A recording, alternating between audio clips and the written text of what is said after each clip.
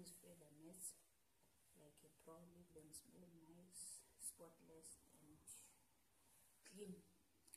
Stay tuned towards the video till the end you will need a small bucket with water and you need a